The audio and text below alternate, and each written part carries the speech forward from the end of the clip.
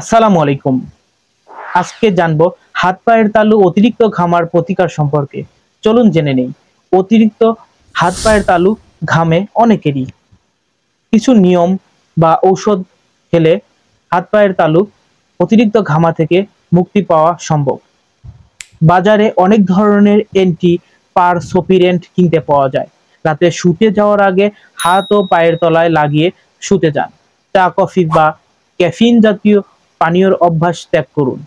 ঝাল, মশলাযুক্ত খাবার এড়িয়ে চলুন। প্রচুর পানি পান করুন।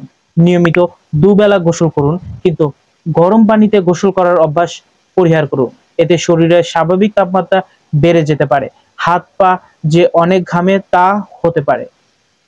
পানিতে বারবার হাত পা ধুয়ে নিন। পানির কলের নিচে কিছুক্ষণ হাত পা ধুলে সাময়িকভাবে কিছুক্ষণের জন্য ঘামানো বন্ধ হয়ে যাবে। পা ধোয়ার সময় কখনোই ভেজা অবস্থায় রেখে দেবেন না। শুকনো কাপড় বা তোয়ালে দিয়ে ভালো করে মুছে ফেলুন। না হলে পায়ে জীবাণু জন্ম নিতে পারে। গোড়ালি ফেটে যেতে পারে, ঘাম হতে পারে, পায়ের দুর্গন্ধ হতে পারে। পা ঘামা কমাতে চেষ্টা করুন, অন্তত বাড়তি খালি পায়ে থাকতে।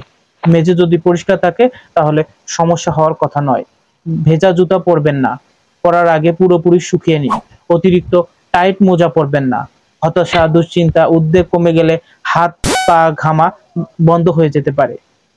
অতিরিক্ত সমস্যা হলে চিকিৎসকের সাথে যোগাযোগ করুন এবং চিকিৎসকের পরামর্শ মতো ঔষধ সেবন করুন। এছাড়াও বর্তমানে iontophoresis Botox, radio, frequency, micro needling, surgery সহ নানাবিধ আধুনিক চিকিৎসা রয়েছে।